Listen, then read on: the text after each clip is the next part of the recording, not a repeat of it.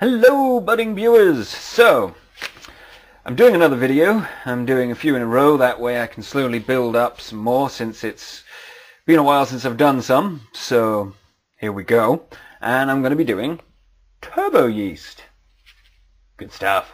So, the great thing about turbo yeast is it will brew alcohol which generally you can't get to unless you use a dessert wine and that's a lot of fuss. So, this does 25 litres or 5 gallons of a sh basic sugar wash. But the great thing is you can use sugar from the shop. Not that I don't anyway, but this is specifically designed to use cheap, nasty, refined sugar. Why? Well, one, you can just leave it to clear and then you've got like a vodka or a cheap vodka. But that's not what I'm going to be doing. I'm going to be using it to make other things. So I need quantity. Yeah. So we're going to get started. So before you, uh, basically everything you're going to need to create your 21% turbo yeast wash. Obviously you're going to need a 5 gallon fermenter. Uh, if you haven't checked out my video previously on how to sanitize and sterilize stuff, check that one out. Uh, before starting, that's a given. Obviously a nice clean side, sanitized and cleaned, and everything. So, this needs 9 kilos of sugar, it says. So, I got two 5 kilo bags, as you can see. So that's 10 kilos, that's slightly more than I need. And just to be on the safe side, I'm going to take some out. So we're going to first start by cutting there, that there. Ah, it's great. The cut line is not in the right place. Awesome. So, la la la la la la, recut. Stick it out of the way. And we're left with five kilos of glorious sugar. So I'm going to pour a little bit of that out. I'm only guesstimating a kilo, but so I'll take, and that is somewhere around a kilo of sugar, according to the Snaden Smile. Roughly about the same size. So that should be around nine kilos. So I got myself a little sandwich bag, very helpful, where I can now put in this extra sugar and use it for tea, coffee, more homebrew, who knows. So just, you know, good practices. In it goes. Most of it, anyway. Oh, that was... And I got nine-tenths of it inside my bag and out the way. You can measure it, but to be fair, this is homebrew. It's forgiving to within, you know. It's turbo yeast. It's forgiving to within yeah, a little bit. So, to make my life easier, I've got this pan. It holds yeah, a gallon or two. Doesn't really matter, but I'm going to be adding boiling water in, and because my fermenter is made of plastic, best not to add boiling water in. You don't have to do this step, but it's going to make it a lot easier mixing in your water. So as you can see, that's quite a lot of sugar.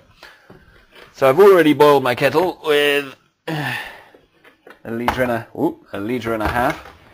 Pour she in. and I'm going to reboil the kettle.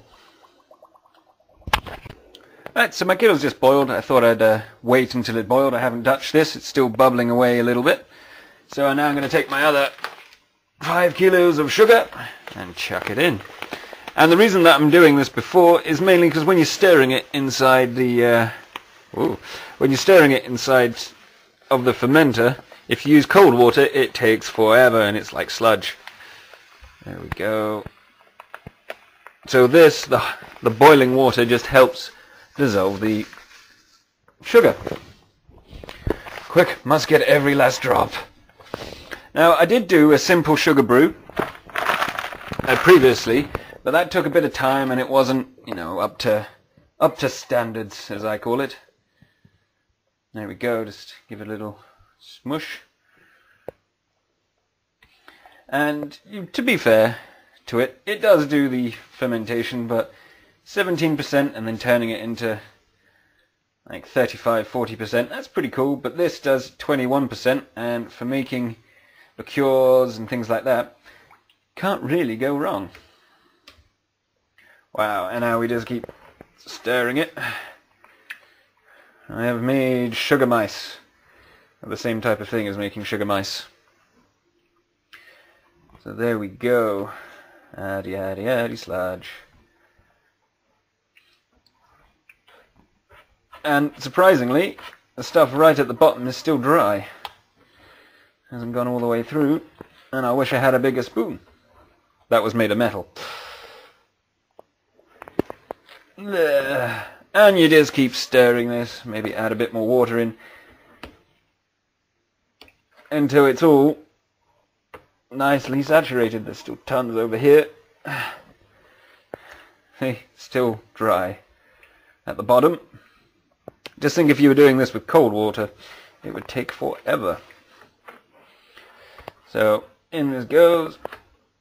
Uh, yet more dry sugar. Hand blender would be really helpful if I could get it to the bottom. But never mind. So we're just going to keep doing this until it's all done. Maybe a splash more hot water since this has cooled down very quickly.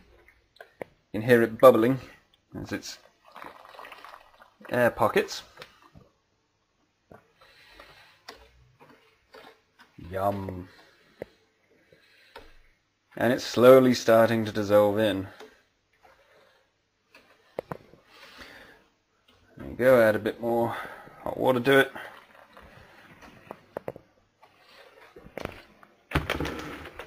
Yummy. Wow. There's still stuff at the bottom. That hasn't even got wet yet. Swap hands. And stir. And stir. And keep stirring. I want it, hopefully, to do something pretty cool. Like dissolve would be nice. Um, if you don't have a big pan like this, you can do it in smaller batches or just throw it straight in, but... Mmm. Lovely. And this is pretty cool. I'll just keep doing this and adding a bit more hot water in. And hopefully this will turn into a nice syrup. So I'm going to keep stirring and I will be back. Right, so finally it has formed a syrup with no sugar left unwetted. So what we can do is move it over to our fermenter, which has to be miles away because my camera is a wide pan thing that, funny enough, can get a really good picture miles away. But rubbish up close. So, what I'm going to do, finish playing with this. Lovely slop. Take off the mic, so you're going to have to put up with the long distance stuff. Mm, stay if it will. Probably not. No, no it won't. There we go. And move this now to my fermenter.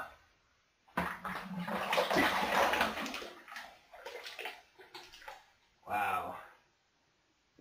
This is cooled down to touch. There's still a load of syrup left in it, so I can use a bit of hot water from the kettle just to hopefully, most of the last stuff. Stick that on my clean side. There we go. And then I'm going to top it up, funny enough, to the 25 litre mark. So, water, straight from the tap.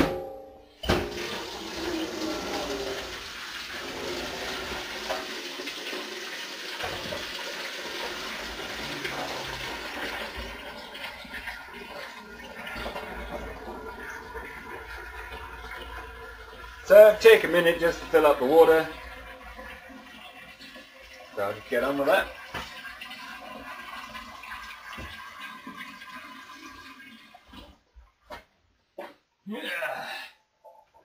So, fresh water. If you live in a hard water area, you may want to use bottled water or filtered water, but I have got a beautiful soft water area, so don't need to worry.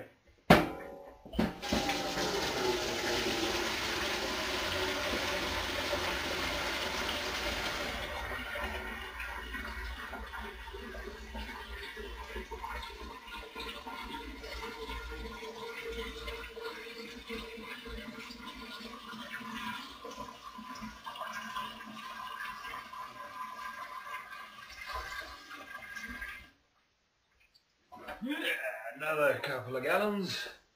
Or a gallon, we don't know. Find out. Oh, look at that. That was perfect. Still a little bit of water in here. Uh, water, a little bit of sugar. So, just to make sure. Oh yeah. Give it a swirl. Don't want to lose any alcohol now, do you? And there we go. So I'm going to pause it and move this a bit closer so uh, I don't have to keep shouting closer to my microphone. Right, so I've moved it relatively close. It's only a couple of meters away. That's how weird my camera is. So there is a little line at the bottom down here somewhere where you can see the, oh, the other side, down here where you can see the sugar. So basically, I'm just going to get my hand in, since it's clean, and stir the last of the sugar in. Lots of stirring, even more stirring. But the great thing about this is that once you put all the sugar in, you don't have to do it again. It's one of the advantages of turbo yeast. So, some people say that it's really rubbish. Other people say it's great. I'm on the verge of, depending what you make with it. If you want to make anything other than sugar wash, then it's pants. But if you want sugar wash, it actually does a pretty good job. So keep stirring, more stirring. And as you can tell, it's relatively cool. Squish it around. And something like that. That is revoltingly sugary to the taste. So, got myself a little hydrometer for a bit of a laugh.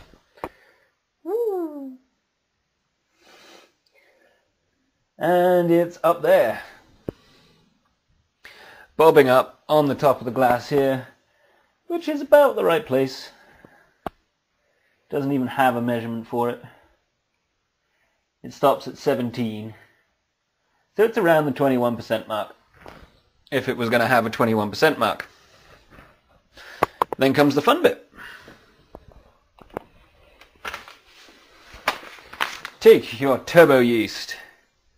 Dun dun dun. Find a pair of scissors or a knife. I had scissors. I really did. Obviously not anymore. Eh. Find a knife and cut it.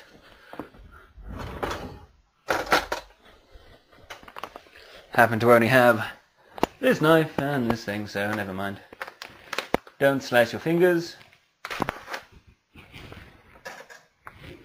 And literally move this up, so hopefully it will work.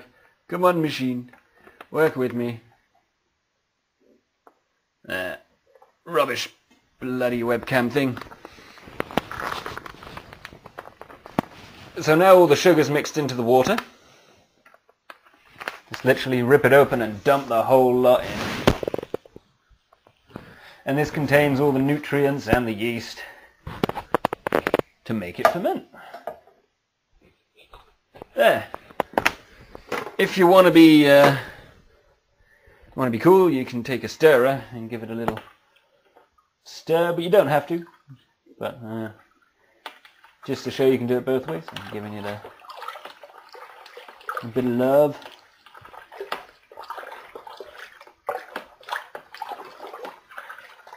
Like so. Then, well, oh, I'll just put the lid on, three sides, and leave a little bit room here because it will hopefully go mental shortly. And then all we've got to do is label it. So I'm down here and I've got myself oh, my apron. Got myself actually part of an envelope, but never mind, it sticks on and it won't come off and you just put what it is. Again, turbo wash, and then you put your percentage on it, so it's approximately 21%, and your date. So it's the 30th of Jan 2016. So I'm going to come back in about a fortnight and uh, see how it's getting on.